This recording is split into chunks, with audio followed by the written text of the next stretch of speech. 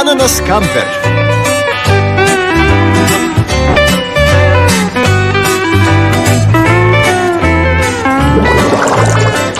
La, da, di, da, da.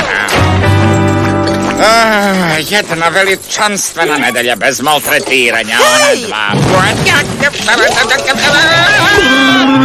Idiota! Čelnik za slova!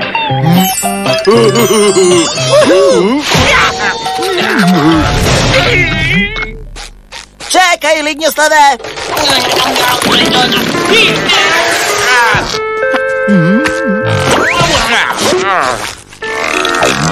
Treba da budeš pažljiviji. Cok, cok, cok.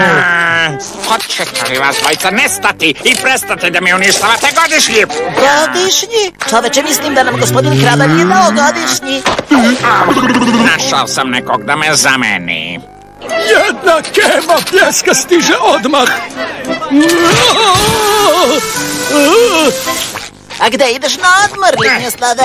Pa, pošto pitaš, idem na vrh morskih krava da uživam u melodičnim zvucima cvrkutavog lokvanja. Koji cvetaju samo jednom u 500 godina. I idem tamo sam. Znam! Triki ja možemo s tobom i možemo da budemo sami zajedno. O ne, nećete mi uništiti odmor. Vrnite se! Ako ne krenem odmah, propustit ću sve. O, pomoći ćemo ti s pakovanjem.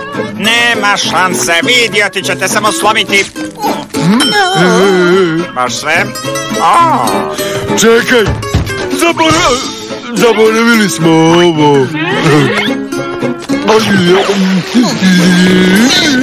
Ne, nemoj stani!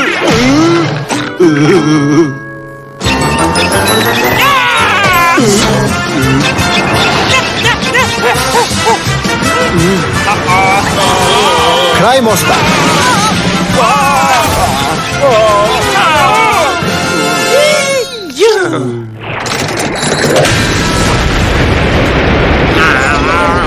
Može da se ispravi.